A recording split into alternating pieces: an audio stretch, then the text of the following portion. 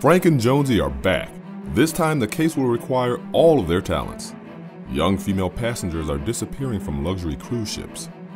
After young twin daughters disappear during a family cruise, Frank and Jonesy must go undercover to find out what's happening. The stakes are high and the odds are against them. Will this case prove to be more than they can handle? Luckily, the twins' father, Jim Mason, has special training and associates from his past that will be called upon as the search for the girls escalates.